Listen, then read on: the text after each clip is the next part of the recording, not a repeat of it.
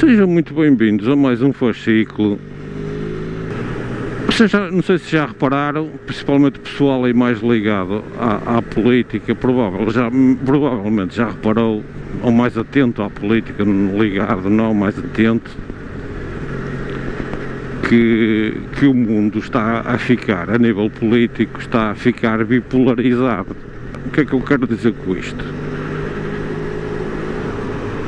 Cada vez mais a comunicação social nos faz passar a ideia que ou somos de esquerda ou somos fascistas, não há meio termo. Ou somos de esquerda ou somos fascistas. Tudo que, tudo, tudo que não concorde com as políticas de esquerda e com as ideologias de esquerda neste, neste mundo agora é fascista. Eu que sempre fui um social-democrata adepto do liberalismo económico, porque a social-democracia é uma ideologia de, direita, de, de, centro, pois a nível económico pode ser mais para a esquerda ou pode ser mais para a direita. E eu, como acho que a esquerda percebe tudo menos de economia, uh, sempre fui adepto mais do liberalismo económico porque é assim que a economia tem que funcionar e é assim que ela funciona, na minha opinião. E não raras vezes, quando discordo da esquerda, sou fascista. Agora tudo é fascista.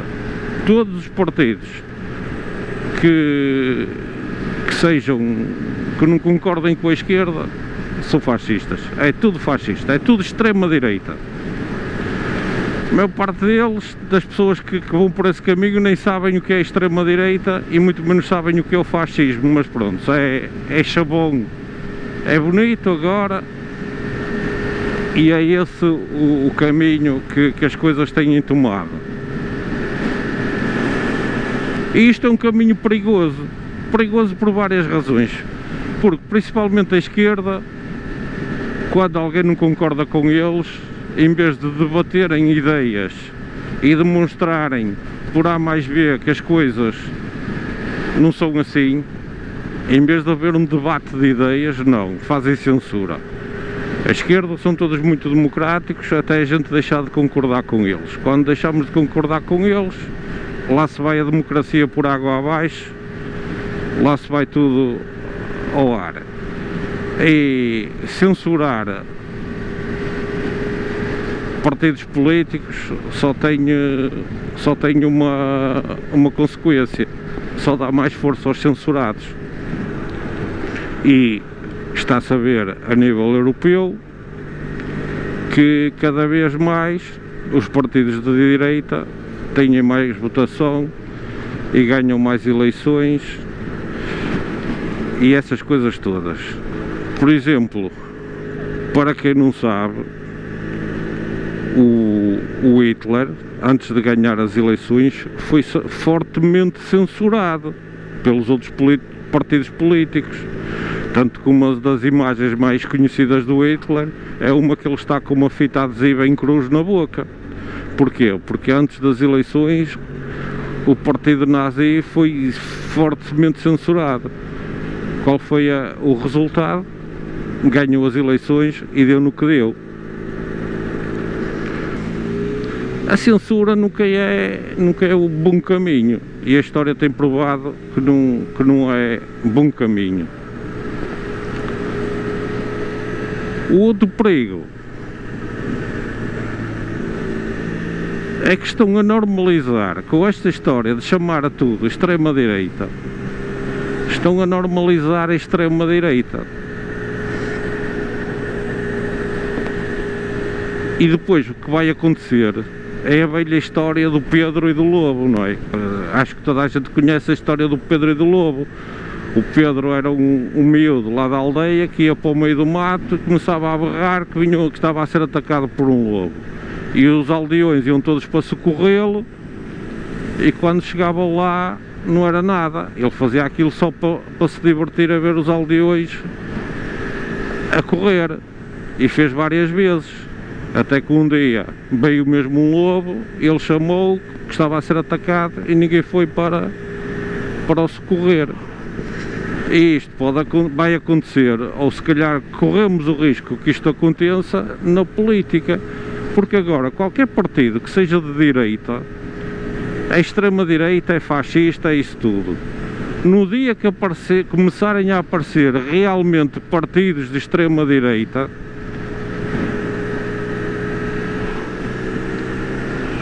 quando se for avisar as pessoas para não votar naqueles partidos que eles são de extrema-direita, as pessoas não vão acreditar.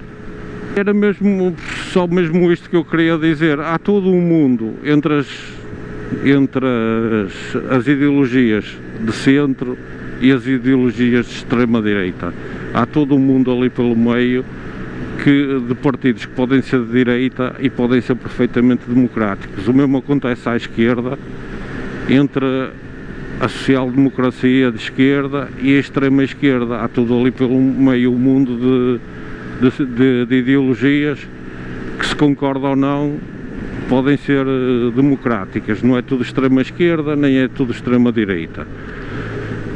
E como eu disse, o risco que eu acho disto é mesmo normalizar, tanto para um lado como para o outro, os partidos extremistas, os partidos realmente extremistas, porque um dia vai aparecer um partido realmente extremista que vai conquistar a população e depois vamos começar a avisá-los que eles são extremistas e que não são democratas e que sei que e as pessoas não se vão acreditar porque chamam a extrema-direita a partidos como o da Meloni, que está em Itália, e é um partido que tem mantido perfeitamente a democracia.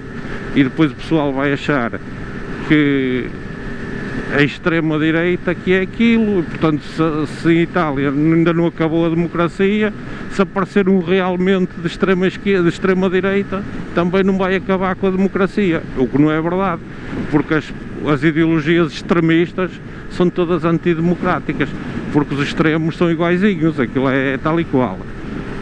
Só, só muda as moscas, o resto é, é, é a mesma coisa.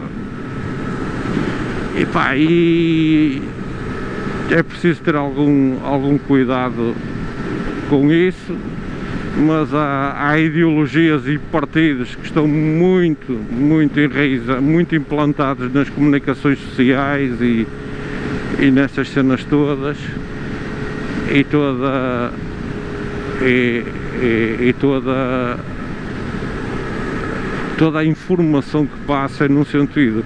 Nós temos agora o exemplo, por exemplo, do, do Dani Carvajal, é assim que se chama, um dos, um dos capitães da, da, da seleção espanhola. Quando foi recebido pelo Pedro Sanches, ele cumprimentou assim o Pedro Sanches de uma maneira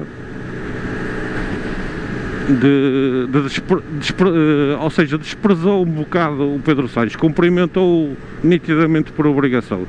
Epá, e foi um caos em Espanha que insultos e que era um mal educado e que mesmo não gostasse tinha que ser eh, mostrar a preço e não sei o que mais e blá blá blá e os saquetas.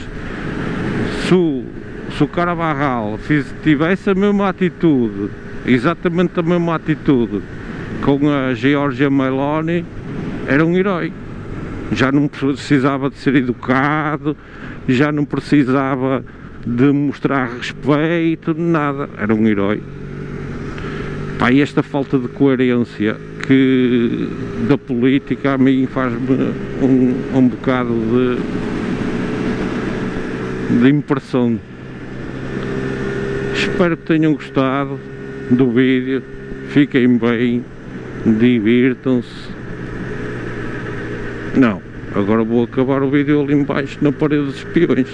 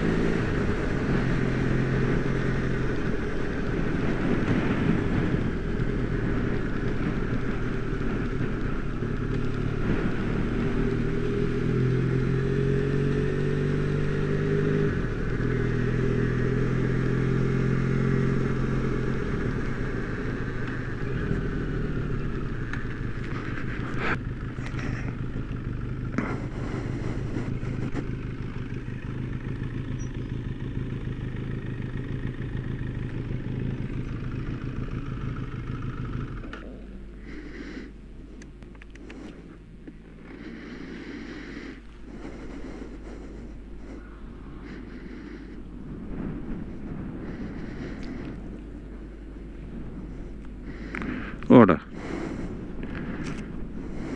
como os meus autocolantes já desapareceram, mas só desaparecem os meus, é uma coisa, uma coisa engraçada. Uh, as lesmas e os caracóis só devem gostar dos meus. Eu tinha posto uns aqui em cima, desapareceram.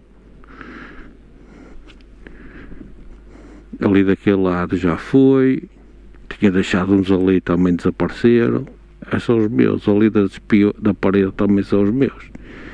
O outsider diz que é os. Os.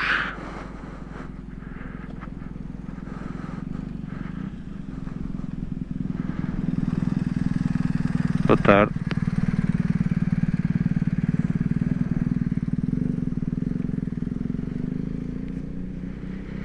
O outsider diz que é os que é os caracóis que os comem, mas não me parece que sejam os caracóis.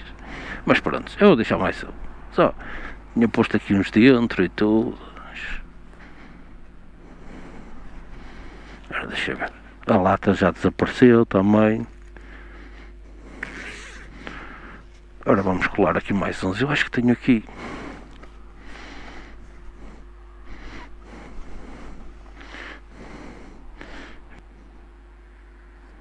Quando tenho que fazer, não sei para onde é que é de ir. Bem colar um autocolante à parede dos.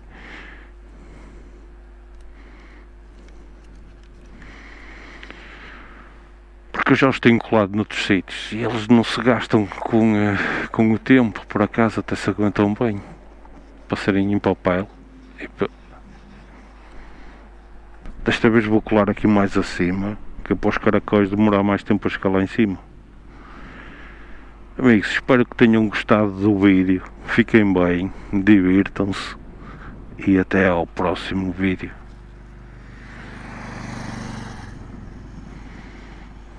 Ora, onde é que está o cesto de lixo?